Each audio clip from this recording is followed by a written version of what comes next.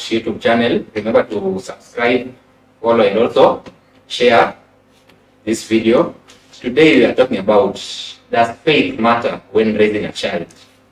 Does it really impact a child in a positive way or a negative way, whichever faith it is?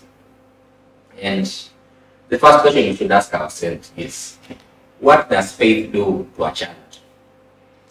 And in my view is faith itself a child false hope that there is a fictional character up there that's watching over him so he doesn't need to, worry about what, what's coming. That there, there's a fictional character somewhere watching over him. And what, what does faith really do to a child? First of all, it's very immoral to bring the idea of faith when one's raising a child because, in the first place, this child will grow up with intimidation, with fear. And as that child grows up, this fear and intimidation will somehow make the child depressed in a way. Because, one, this faith is all about believing in something without evidence. That uh, this child grows up knowing that uh, God, the, the supposed God, is somewhere watching. And if the, child, if, if the child uh, does something moral, he or she in the near future will be punished. So you can imagine that uh, teaching this child about faith, and once that child continues growing, he or she will develop uh, an attitude, life in that, in that uh, they believe alone. That, that belief that you put in the child, that they will be tortured. This God is who, who- who is the, who is taught the child that this God is good. But once the child grows, he or she develops that to that. If this God is very good, why why then should he torture through the idea of having hell in the first place? So for, for our case, uh, in our case, mostly the third world countries, it is also a very bad idea of raising up a child in such a way because this child, as, as, as he or she becomes an adult, will not like uh, work hard say in life because he has been taught to believe that uh, he or she will enjoy life in the afterlife. Yeah. So the idea of enjoying life in the afterlife will make her not work hard because of that idea alone. Number two, this child because of faith, will believe will not make people accountable in his or her life. Because let's say let's say in the case of leaders, he, or she will not account, will not make the leaders accountable, because he or she, because of faith, will believe that uh, God, who is watching, will make will make him and the nation at large will make the, the leaders accountable. So instead of making of, of making the leaders accountable, that's why Africans we are suffering because of that notion whereby we are not holding, holding our leaders accountable because of the faith that we have been brought up to believe that uh, there is no need because it is God's plan anyway that they are the way they are because in the afterlife God is going to punish them. So I, in my view, it's very moral and uh, we should try to bring in the idea of open-mindedness whereby children are nurtured. You don't have to be moral by religious. You can still be very moral. We have, uh, you don't have to believe in something to be moral. Because once a child is born, there is an automatic natural conscience. One is born with conscience. And one knows what is right and, and what is wrong. So don't need religion to, to raise a child. That's my take. I also think that raising a child in faith is wrong because it somehow teaches these children to judge other people wrongly. So there's at times you can just listen to children giving stories that they have had. Mostly they talk from how they hear their parents talking or older people. It can be something very, you know, small or natural. Then you hear the children associating it with faith, with the devil, with, witch- with witchcraft. And then I think it hinders this child's mind from growing in a positive way. just don't focus on faith. Just focus on right and wrong and the consequences. If you do something bad, there are consequences. But just focus on the good and the bad. Don't focus on the faith, because that will mislead the child. Thanks. I wanted to piggyback from where where we left off. And um, I think raising children with faith teaches them to believe the right things for the wrong reason. Religious upbringing focuses on what to believe rather than why you believe it. So those children foster or they develop blind obedience and reverence for, for authority rather than critical thinking or questioning. I think it is more sustainable for somebody to be a critical thinker, for them to be equipped with the tools to handle whatever situation comes their way. You see, when you tell somebody something, you tell them never, never cross the road when the light says red, and you don't explain to them why that is the case, then they won't be equipped to handle the road when the lights spoil and there's no guidance there right? So that's the problem with raising children religiously, is that it emphasizes the what rather than the why or the how. Think of it this way. Imagine you are a supervisor at a workplace and you've got this employee who usually churns out a lot of work when you are there with them, when you are uh, loading over them, when you are micromanaging and supervising them there, they usually become very productive. But the moment you disappear as their supervisor, they stop working. And the reason they do it is because you, as the external source of their behavior, are the one that causes them to comply. It's just obedience that they're doing it out of obedience. But think of another employee who loves their job. Maybe this is their natural inclination. They have a gift for that job. Maybe they fix computers and they just love doing it. They love it when a customer comes, gives them a broken down computer, and then they are able to bring it back to life. So whether or not the supervisor is there, this person is able to churn out a high amount of work. So I think that's the same psyche we use when we raise children, that you don't want an external moral authority to cause children to comply. And the external moral authority in this case is God or religious teachings. Instead, you want them to think for themselves. You want them to focus on their humanity and you want them to be able to apply those principles regardless of the situation. So that is why I think faith is terrible. It teaches children what to think rather than how to uh, for me, it's a question. If I say yes, um, to do the the, human spirit of the that um, existential question that we always have, that curiosity, that appetite to satisfy. And um, it could be drawn from fairy tales. Um, as we are children, we, we love fairy tales because it, has, it answers hard questions that we cannot we cannot um, fathom. I mean, if someone tells you there's no God, it's all right, fine.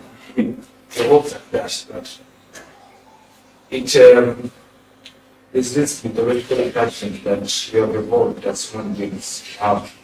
That's why religion and um, religious stories, I would say, and um, fairy tales and stories, they they kind they kind of um, they kind of suppress this crisis that um, maybe our parents don't want us to experience while we are young, but um, as we grow older, as to become adults, we start um, realizing these things. Um, even if you look at Nancy Jam, they were they were Catholics. I mean, uh, predominantly they were Catholics, and um, this which and here able to harness that to harness that uh, that energy into the their to feel the juice.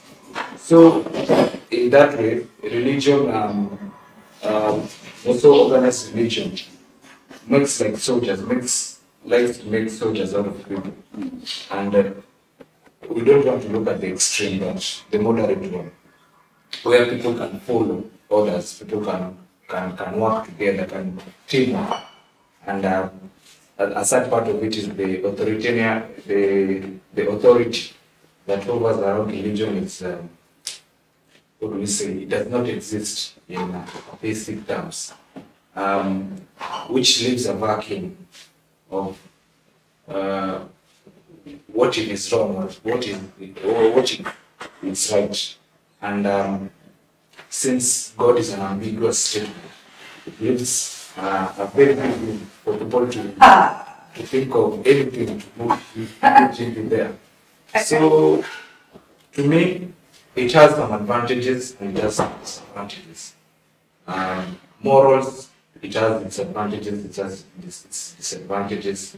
Um, but a major part of it, I would stress, is the mythos, that um, that uh, that appetite to sub to to, to limit the existential crisis within us so that we don't collapse. Maybe. Let me let me try and be brief. Uh, just to respond, not to respond per se, but to, to yeah to respond to what you have said. Uh, you can uh, on models. Religion can make you do some things which can be good, but religion can also make you do things which are immoral. Therefore, religion cannot be a source of morality. Because if I can choose to kill you based on my religion, I can choose not to kill you based on my religion. Therefore, religion is not the one guiding you to kill you or not. It's basically that is the issue. Uh, number two, uh, evidence is contrary. Uh, more, uh, and I think that is part of the last question the moderator is going to ask. The societies. If you want, uh, if you look at society currently that are more religious, and those ones which are more secular, just ask an average Kenyan, where would they want to take their kids to for to study and to work? Is it Uganda, which is 90%, or is it Western countries, which are, or Finland or Australia, which are more holistic? So evidence is the contrary that religious societies. However, to still man your point, religion is a very good social mobilizer, just like any other social aspect, right? Tribe. Like our, our politics is based on tribe. So if I want to mobilize people, uh, I have to make them give them an imaginary enemy, like, uh, like our politicians do. We have to start by defining facts. What is faith? Faith is belief without evidence. I think by that definition, it becomes it just becomes obvious how useless faith is. It's, it's faith is belief without evidence, and if you have evidence, it becomes knowledge. Um, however, why is it wrong to do that? And and also to try, clarify, here we're talking about religious faith. Uh, so the question is, is it okay? Is it okay uh, to raise a uh, children in a, in, a, in a religious setting that indoctrinates them to, to faith? Um, number one, the problem I have with that, it gives them a warped view of life, or a, bias. What they need to, uh, it, it, it, it diminishes their critical thinking because it makes them, it te- teaches them not to question things. It, it leads them to blind obedience. The Bible says we go to Sunday.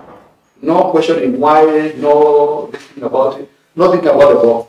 And that's why you find people in Kenya, if you argue with them and you're like beating them in any argument, not they're religious, they will always come with, but the Bible says. That's what they come. But the Bible says. Because they, they are taking it as, oh, if it's written in the Bible, it must be true. Well, there are a lot of horrific things that uh, we have discussed in previous videos and discussed in future videos of that are in the Bible that, like it says, you can kill people for just working on Sabbath. I don't think there's a Christian who believes that. So, and the fact that the Christians, they are, they are, most Christians don't think it's okay to kill someone who works on Sabbath. Yet it's written there next to the Ten Commandments. It tells you they are not using that Bible as a guidance. It speaks to the supremacy of secular morality. They use it whether they think you're using it or not. Finally, uh, it negates the value of this life. So when you bring up a kid in a religious setting, what it does is there's a life after death. So, um, and it gives them a warped sense of justice. So you find like someone, like, let's say someone, someone's native kids have been killed by a neighbor. It's a very huge injustice. Or even look at things like uh, genocides or tribal clashes. So what people, instead of people pursuing justice, like there are raiders who pursue these tribal crashes, let's take them to court. If you don't have a court, you're to ICC. Let's seek justice here on earth. People will be like, "Nimwachia Mungu." They're doing it, you know. and that one constitutes a very, a very bad sense of um, justice in the sense that you don't value like. And you see, people who are politicians, politicians who are very moral, okay, there are no politicians with morals anywhere in the world, but ours, they take advantage of that thinking. They'll say, I can get away with putting this tribe against this tribe, they kill each other as long as I get my way to power, and then they will pray to God to help them, and then I will get away with it. Uh, very final, final, final is, uh, I want to say, you can, um, the, thing- the other point he was trying to make is it's a good social, not mobilize, but it- it's, it, pro- religion provides social settings, or social, social welfare and social setup. Uh, so what I would say that the reason it does in Kenya is because it's the only thing you have to do. On Sunday, even me as an atheist, I have probably noticed there is no shop that is open on Sunday. Mm. Everybody is in church. All my friends go to church. All my everybody goes to church. So it's a it's it's the only people you have to interact with. It's the only people. So if you're in a country where uh, everybody is a Muslim, you think Islam provides social. It's the only one that provides social atmosphere, social setting. If you're in a country that is Hindu, you think, oh, Hinduism is very good for social. But the truth is, if you're also in a country where there is no religion, you guys are going to find social activities, social engagement, social means to do. And that is mostly pronounced in the rural settings of Kenya, where our mothers and our they, they, everything of every aspect of their life revolves around uh, faith and church, whether they like it or not. Yeah, so faith on children is unnecessary. And finally, it also makes them, it's anti-science. Faith is generally anti-science in the in terms of thinking. Because science tells you look for evidence, do research, look for evidence. Let that evidence inform your thinking, your beliefs, and your conclusions. Faith tells you this is the conclusion. Go and look for evidence that supports it. because you have to believe first, and then now you have. And that is why it, it brings a lot of cognitive dissonance. Because someone believe like Bible is the best part, the good one of God. Then you read them, you read for them a verse that supports slavery, murder, or, or people who are not virgins, part of what. Then they get cognitive dissonance because they have started with the conclusion that the Bible is a good book. And then now the evidence that you're presenting is contrary, and they cannot reconcile those, those two things. So faith should be kept far away from any rational human being. Okay. I think faith, faith was it. Uh, first of all, it, it gives the child like the West time, it was the, the child's the child's time. Like like um I'm from Kisii. I was I was trained in a in an SDA. You know there you don't work from Friday sunset to Saturday sunset. You don't work, you don't read. So even when I was a kid, I had, a, I had an exam on Monday. I was in class six. I had an exam. instead of preparing for that exam, my mom, told me, man, you don't, you don't, on Saturday, on, on Saturday, you don't do any work. You go, you go to church, God, I know God will help you pass the exam. So on Monday, the exam was there, and I was seeing stars. I was singing that to myself. Well, wait, man. Where is God? Now, now, I'm not anything. Where is God? That's what I feel. It wasn't the time of, of the kid. Yeah, thank you. So, for me, I have my own experience and also from my kin. In fact, my king nowadays is surprising me. It's coming with the funny song, Baby Jesus. Sometimes I look the exam, I find he got the, the answer correct because he get right. Who created you? Exam. I think it's as right. Who created you? God. Oh. Get right. So, what kind of this nonsense? so, you are training my child for the thing that are very stupid to believe that was created by God. And yet, the teacher, even those who set those exams, even those who make those tests, test people, they have no evidence they know nothing. It's just a brainwash. So at the end you are coming to blame my child to believe he was created. You give him at least a good answer. You are born. Exactly. Instead of saying you are created, and you yourself you don't know, you have no evidence. So, I'm playing him some funny, funny silly songs about things that you cannot even verify whether true or. No one knows whether Jesus existed. Mm-hmm. We only just think he existed because there is a book written about him. Just the way maybe we can see a book written about Spider-Man. We think Spider-Man existed. Mm-hmm. so, first of all, come up, come up with the evidence, but not about faith. Faith to me, the definition of faith is believing things without evidence. That means, if you believe something that without evidence, when I call you a stupid or a fool, I'm right. Because it's only a who can believe something without evidence.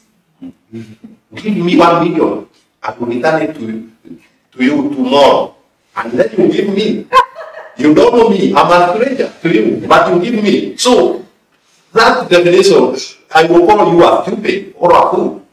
Because you just give me without without any proof, without any you have no you have done nothing. There is no analysis you have done about me so that you may be able to know whether I can be able to give it to return it back to you. So that is foolishness. So to believe something without any evidence or without using even a single logic, that is foolish to me.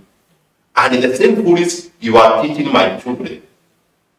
The same thing I was scared when I was young.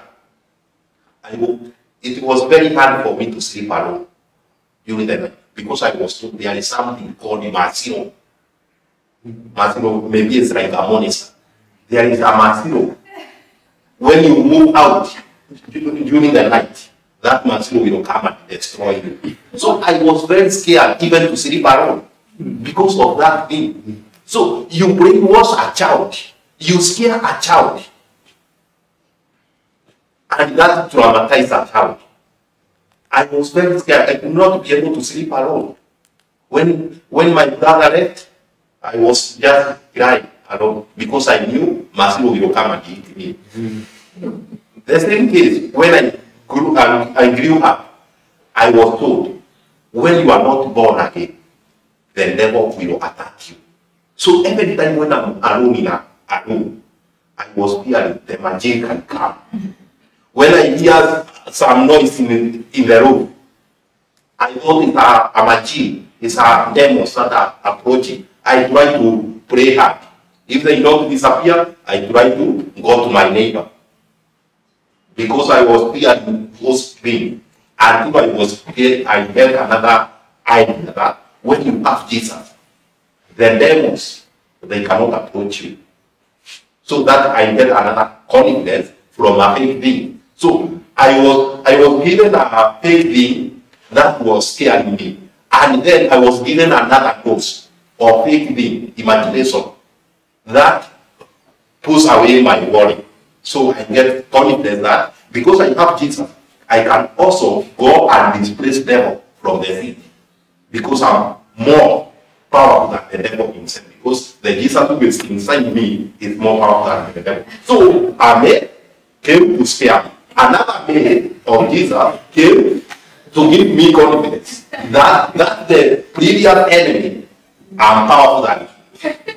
So that is how we are we are telling children. Things that are imaginary, things are very stupid, you cannot verify, you cannot prove anything. So right now I'm very angry to see how the education curriculum are training our children. Things that are very nonsense. Jesus you. And if you say contrary, you will get it wrong. This song. If you are Muslim, do this and this. If you go according to the Christian, you will get wrong. So, I don't know what I can say about that. But education in government should take that serious.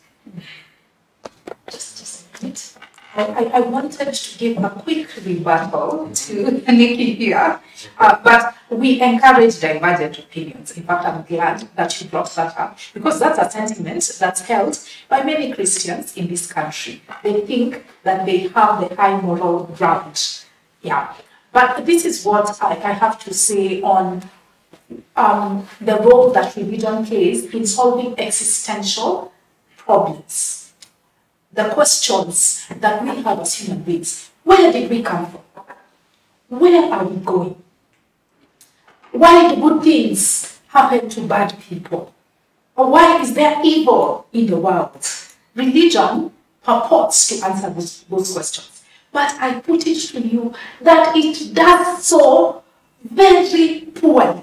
It is inept. As I said, religion gives you the wrong answer to the right questions. So if it is, where did we come from? It is telling his children that we came from God, that God created us, when that is not necessarily the case. Then the other thing you said is um, that it, it, it fulfills that need for mythology that we have within us. And um, I think that there's a difference between having a need for mythology and being indoctrinated. And religion does the latter, yet what we need is the former.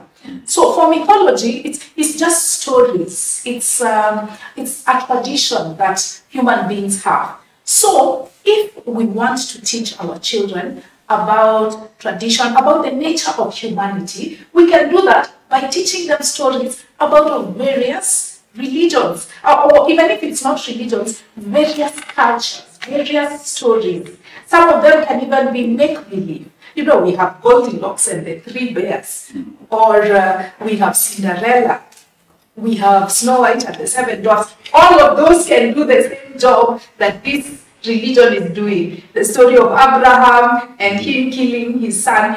So, with the Goldilocks and the Three Bears, that one, it, it, is understood as a fictional story, and the child will be able to differentiate it. They know that bears will not talk, and they, they will only put it in the realm of fiction. However, for religion, it, it, it makes it seem as though the story did Moses parted the Red Sea so majestically. They believe that that is actually real, and that's the danger in it. That it, it indoctrinates the child. It makes them believe that one way is the right way, that that that way, the mythical way, is the right way. Yet that is not the case. Yeah. So because of that fact, because of the dangers of religion perpetuating these falsehoods in our children, then we need to discard it. And we, we also need to realize that just because something exists, just because something is there,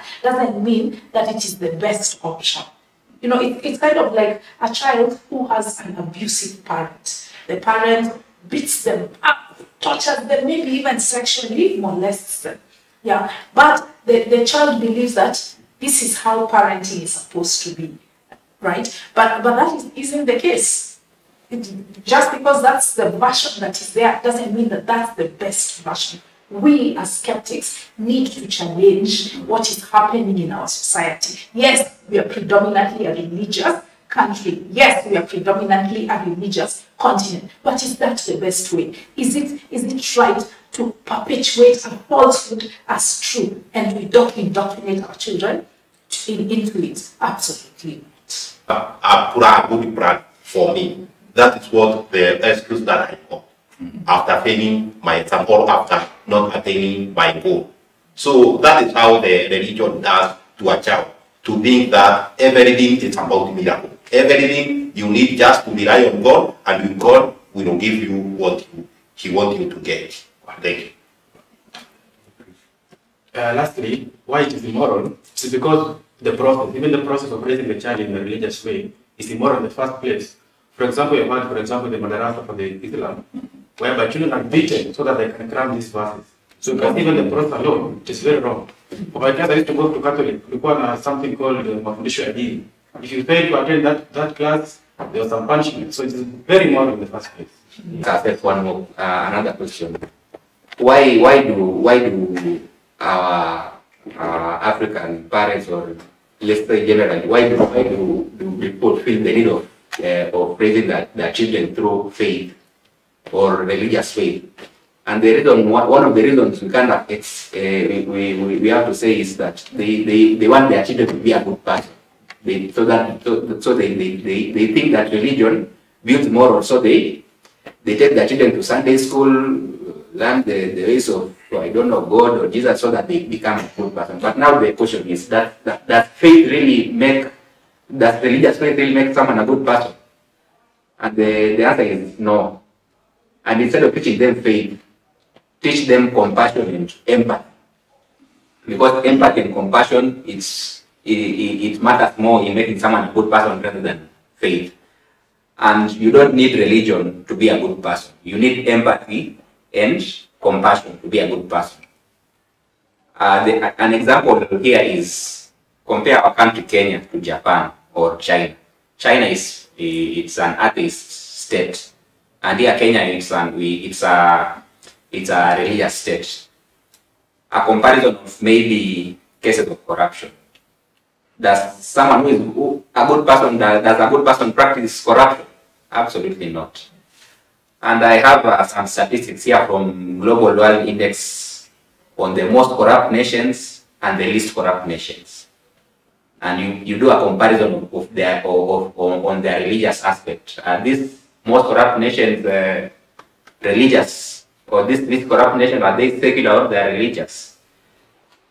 On the most corrupt nations, the list of the top ten, we have DRC Congo, number one.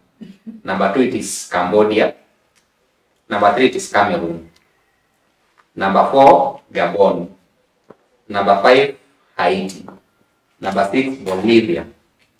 Number seven, Mexico. Number eight, our neighbors, Uganda. Number nine, Madagascar. And number ten, our great republic, our, our religious republic of Kenya. We are number ten in the most corrupt nation. We're indeed a Christian nation. when you are a Christian nation, does, does that faith, uh, that, does, did, did that faith help us in, in, in being morally good? The answer is no. And then on the list, the, the, the bottom 10 list corrupt nations. Number one, we have Denmark. Number two, we have Finland. Number three is New Zealand. Number four, Norway. Number five, Singapore. Number six, Sweden. Number seven, Switzerland. Number eight, Netherlands. Number nine, Germany. And number ten, Luxembourg. And when you do a comparison, the least corrupt nations, they are secular nations. And the most corrupt nations, they are predomin- predominantly religious nations. you can respond then. Uh, yeah, that just demonstrates we are Christian nation. so, uh, just a minute. So, the, the point there is evidence is contrary to what is intuitive for us. We think that uh, in Kenya, the word uh, being Christian is used as if it's synonym for being a good person. Uh, but evidence is contrary to that.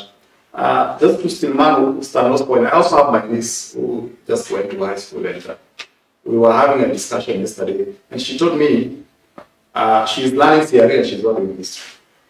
And uh, uh, she's uh, a Christian because by default, you know, here it's, it's fed into you by through an injection. But also she's learning history about um, evolution, about Kenyapithecus, about uh, Homo habilis.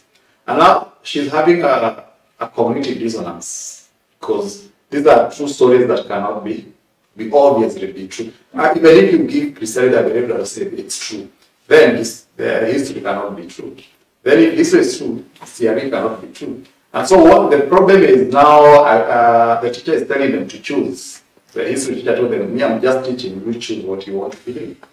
And uh, you see that if you put in cognitive, well, it's it's good and bad. It's good and bad because it's good because uh, at least they are not now just teaching one version. Because I remember our version of history was like a religious history sort of.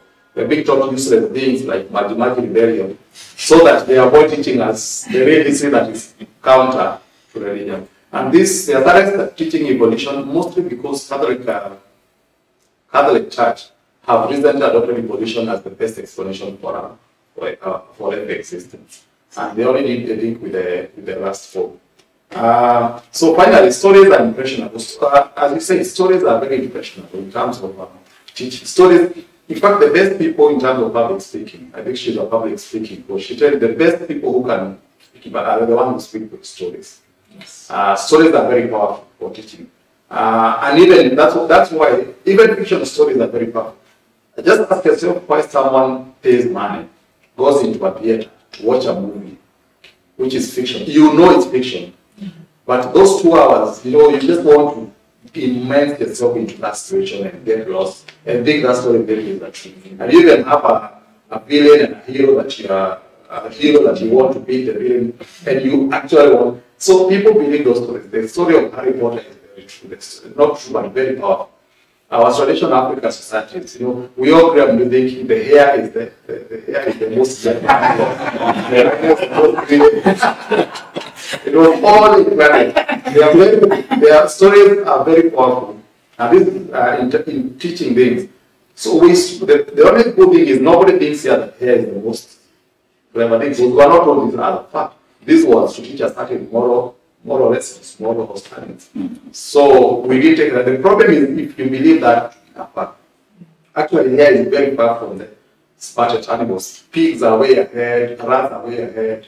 Uh, of course, most, prim- most primates are way, way ahead of us. But because those stories were meant to tell us stories, uh, to tell us certain things, so it's always good to package that story, uh, that message as a story. But make it clear that it's a story. It's not a fact. Jesus' story could have good and bad things, it's a story. Take the good things, and you don't have to take them from Jesus or from Yahweh or from Allah. You can take from Aristotle, you can take stories from Harry Potter, you can take stories from anywhere. Pick the good and uh, leave the bad. Finally, the question is how do you pick the good and leave the bad? If these are the ones teaching you what is good and what is bad, secular morality and humanism. That's a topic for another day. What I would say is um, answer, um, answering the question why parents teach, why African parents teach um, religion. I would say one because the time, like we don't, uh, parents, African parents don't have the time because most parents are working. And um, the burden of uh, teaching children morality is so enormous. Parents they feel like taking them to church is, uh, is a good way because it uh, it isn't Like outsourcing. yeah, it's a way. And it is so easy, it's so like it's convenient. Churches are open to seven. So they, they don't have to worry about anything and they trust these churches. That's uh, um, one shocking thing is they trust these churches uh, and their leaders, uh, regardless of the moral implications. Another thing is um, morality, of course, um, because um, um, religion plays a huge role, especially in African societies, uh, in uh, moral indoctrination. That would be another case. Um, another would be against conformity. You don't want to be left out. You don't want to be the odd one out. And um, I guess some parents are forced to this because yes, they want their child to conform the society, not to be uh, the what would say, um, the the ugly duckling, yeah, the odd one out. And they, you know, um, I mean, if, if you've ever been left out of a group, um, you feel uh, the, the, the, emptiness that comes with it. No one wants to wish that upon their children. So I guess they would rather take that deal than uh, risk um, exposing their children to those negative effects. Yeah.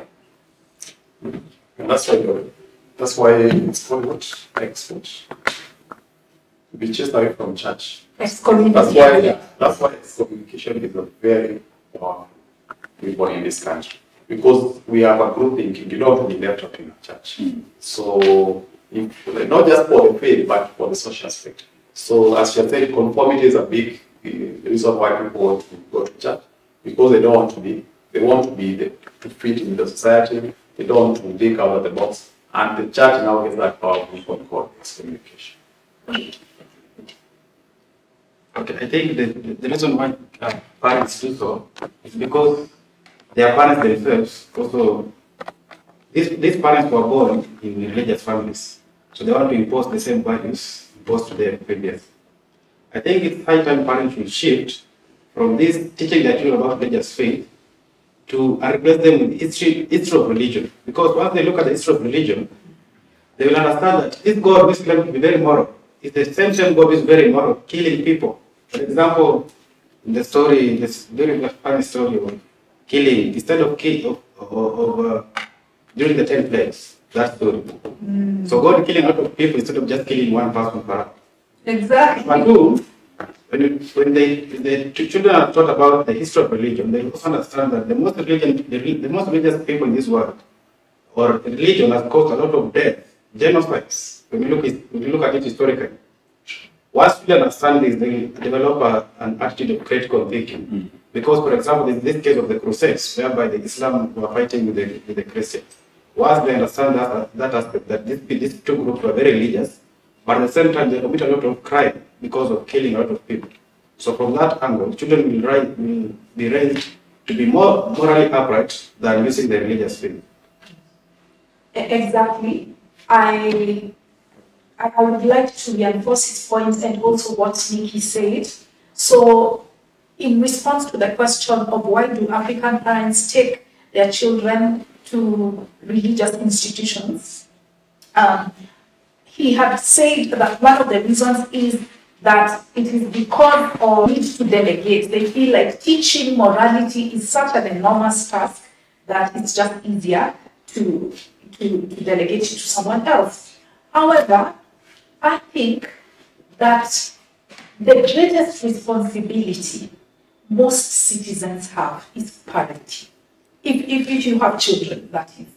I think delegating that duty is highly irresponsible. You have it within you to pass over your principles. Why would you want some stranger somewhere? Even if it's not a stranger per se, but that is not someone who mimics your values. Hmm. Wouldn't you want your child to be a reflection of yourself? So I would implore parents out there, stop it. Stop, hmm. stop passing all that back to someone else. Be the bigger man or woman and do it yourself. Raise your child. Teach your child the principles and values that you hold dear. Now, on the other issue of how, what do you teach children beyond faith? How do you raise them to be upstanding citizens of the country? Firstly, as Maurice said, it's important to emphasize our humanity and empathy. I, I think that is essential in secular morality. Put yourself in another person's shoes. I, I think that's so simple, it's so intuitive, and it is so uncontroversial. Nobody can argue against that. So you just tell your child, how would you feel if this comes here and does that to you? Yeah, you feel bad. So always put yourself in the other person's shoes whenever you need to make a moral decision. That's a very good guideline. It's, it's called the golden rule and it is present across cultures around the world. That's, that's how I would approach morality. Then when it comes to critical thinking, I would teach children religion. However, I would teach them all religions. There's somebody wise who said that when you teach children one faith, you indoctrinate them. But when you teach them multiple faiths, you inoculate them. To inoculate is to make somebody immune to something. To indoctrinate is to make somebody believe something is true when it is not. So we want to inoculate them, we don't want to indoctrinate them. Let's, let's, let's tell them what the Hindus believe and uh, how they practice their faith. Let's tell them what the Muslims believe. Actually, I found that here in Kenya, religions are very ignorant of each other. They think that they are true, that their belief is true simply because they haven't heard what happens across the fence. If they did, then they would realize, I we can't all be right. Yeah, so uh, that's one thing I would do. I would also teach them critical thinking. And at the essence of critical thinking is the idea of questioning, of, of finding out why. Ask, asking why. Don't be content with what. You've, you've told me I, I need to do this and this, I need to wake up early. Why do I need to wake up early? Because I need to fulfill my obligations. Yeah. So I think that's a good approach. And lastly, science. I would teach them indeed the scientific method, as Maurice had said, that you observe something, you come up with a hypothesis, you conduct an experiment, and it doesn't even have to uh, require a laboratory, it doesn't even have to relate to some complicated thing. It can be something so simple as my tooth is aching. What could be the reason behind my tooth is aching? Or I have lost my keys. So how do I find my keys using the scientific method? So uh, after you do an experiment, you, you have the, the observation, you create a hypothesis, you do an experiment, and then you, you reinforce the hypothesis by creating a theory. That's the scientific method, as simple as that. Children can understand it as early as two, they can understand it. Let's not underestimate their intelligence. You are capable as parents of building upstanding citizens who are moral and who are critical thinkers using those talents. Yeah. So what I'd say, um, just um, less faith, more morals, less belief, more actions. Their children about the religion, the more, or the, because they want them to be morally right according to their, according to their opinion, because that is how even the parents were indoctrinated in that way. So they think, even in, in Kenya, for example, the majority is Christian. So they think the Christian is only the one that can offer the best moral. So to them, they think they are right, and they want their children to follow that the right path. So that is why they try all they can to teach their children the moral according to the Christianity or according to the religion they believe in. So that is obvious, even as as atheists or non-believer, we want to teach our children what we think is right. But what we are trying to advocate is this. What you, you are teaching your children, is it evidence-based or just something that you cannot be able to verify? And what do you want your child to be taught? Something that is contrary to your opinion or to your, your stand. If no, when you want to teach others what you believe, and you don't want your child to be taught what they believe. So as as that. And that is why we, we also advocate for the education to be changed or to be amended for those cases. Because we don't want to be, you are Muslim and you want the somebody is wanting to teach you Christianity or vice versa. Let's focus upon to each opinion but not upon what you want other be. Thank you. And I want to finish. I want to finish by saying, with or without religious faith, a good person will always be a good person, and a bad person will always be a bad person. But for a good person to do bad things, teach him religious faith. Mm -hmm. Thank you.